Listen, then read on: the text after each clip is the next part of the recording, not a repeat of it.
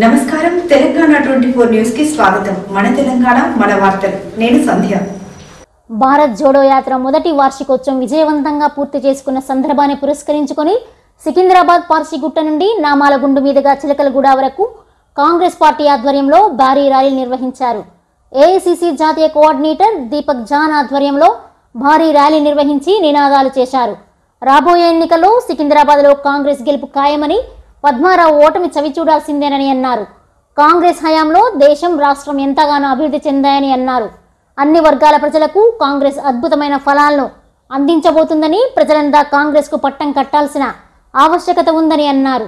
రైతులు విద్యార్థులకు యువత మహిళలకు అన్ని వర్గాలు రంగాల వారికి కాంగ్రెస్ హయాంలో మంచి జరిగిందని భారత్ జోడో యాత్ర మూలంగా దేశవ్యాప్తంగా ప్రజల్లో చైతన్యం వచ్చిందని రాబోయేది దేశంలో రాష్ట్రంలో కాంగ్రెస్ ప్రభుత్వమేనని ఆయన స్పష్టం చేశారు. భారత్ జోడో యాత్రలో భాగంగా దేశవ్యాప్తంగా ప్రజలు ఎదుర్కొంటున్న అనేక ఇబ్బందులు సమస్యలు కష్టాలను ప్రజలు రాహుల్ గాంధీకి వివరించారని అన్నారు.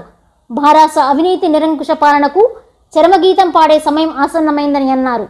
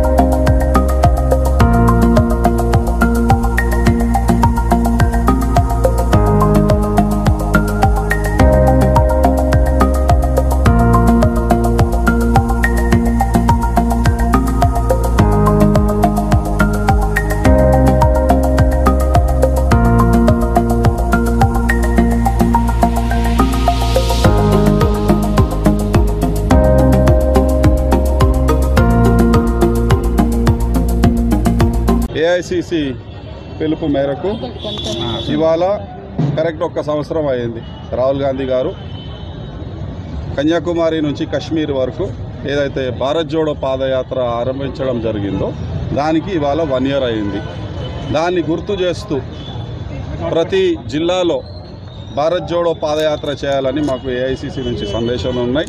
దాని కోరికే మేము ఈ పాదయాత్ర చేయడం జరిగింది.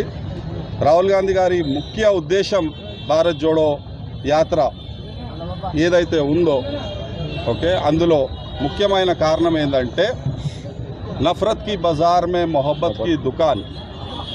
మొహబ్ నఫరత్కి బజార్ మే మొహబ్బత్కి దుకాన్.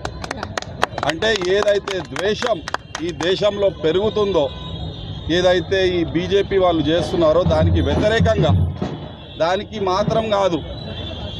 ఏదైతే నిత్యావసరాల ధరలు ప్రైస్లు పెరుగుతున్నాయో నిరుద్యోగం ఎటువంటి పెరుగుతుందో ఏదైతే పప్పులు బియ్యము ప్ర- పెట్రోల్ డీజిల్ గ్యాస్ ప్రైస్ ఎట్లయితే పెరిగినాయో నిరుద్యోగం అయినా కానీ ఇట్లాంటి సమస్యల పైన పోరాడడానికి రాహుల్ గాంధీ గారు ఏదైతే భారత్ జోడో యాత్ర చేయడం జరిగింది లక్షలాది మందిని కలవడం జరిగింది ఏదైతే భారతదేశం యొక్క వాయిస్ ఉందో వాయిస్ అనేది వినడం జరిగింది. మీరు చూస్తారు అక్కడ బీజేపీ ప్రభుత్వము మోడీ గారు ఒక ప్రెస్ కాన్ఫరెన్స్ ఇవ్వరు ఎవరిని పోయి కలవరు కూడా. అదేవిధంగా ఇక్కడ కేసీఆర్ గారు ఫామ్ హౌస్లో వాడుకుంటారు ప్రజలకు ఏ సమస్యలు ఉన్నా కానీ పట్టించుకోరు. మీరు డబుల్ బెడ్రూమ్ ఇష్యూ తీసుకోండి ఇక్కడ అదేవిధంగా దళిత బంధు ఇష్యూ తీసుకోండి అదేవిధంగా పెన్షన్లు ఏదైతే లేటుగా వస్తున్నాయో పబ్లిక్కి అదే అదే విష అదే విధంగా ఏదైతే వసతులు సికింద్రాబాద్లో పార్కులైనా కానీ లేని కారణం భారత్ జోడో యాత్ర ద్వారా మేము తెలియపరుస్తున్నాము. పబ్లిక్తో మాట్లాడడం జరిగింది. వాళ్ళు గ్యాస్ సిలిండరు రేట్లు ఇంకా తక్కువ చేయాలని చెప్తున్నారు. కాంగ్రెస్ ప్రభుత్వం వస్తే ఐదు వందల రూపాయలకే గ్యాస్ సిలిండర్ నాలుగు వేల రూపాయలు నిరుద్యోగ భృతి నాలుగు వేల రూపాయలు పెన్షన్ అదేవిధంగా ఎస్సీ కేటగరైజేషన్ ఎస్సీ వర్గీకరణ అదేవిధంగా ఫీజు రీఇంబర్స్మెంట్ ఏదైతే ఎస్సీ ఎస్టీ మైనారిటీ బీసీ స్టూడెంట్స్కి ఏదైతే ఫీజు రీఇంబర్స్మెంట్ ఉందో అది చేయడం జరుగుతుంది. అదేవిధంగా ఏదైతే బకాయిలు ఉన్నాయో ఫీజు రీఇంబర్స్మెంట్ది అది కూడా ఇవ్వడం జరుగుతుంది. సో అలాంటిది ఎన్నో విషయాలు ఉన్నాయి. సో అది తెలియపరచడానికి మేము ఈ పాదయాత్ర తీయడం జరిగింది. రాహుల్ గాంధీ గారి సందేశం ఏదైతే ఉందో భారతదేశానికి అది కూడా మేము ప్రజలకు చేరేటట్టు చేశాము.